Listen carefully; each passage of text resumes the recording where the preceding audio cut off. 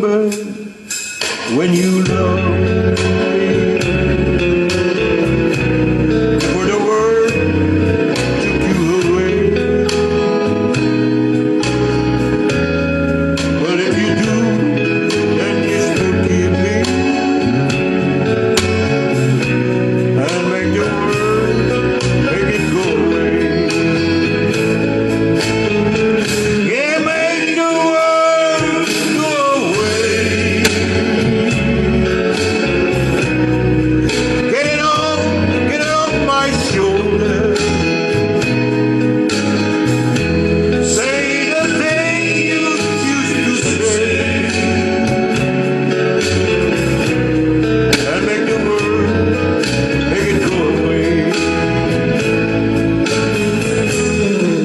I'm sorry if I hurt you.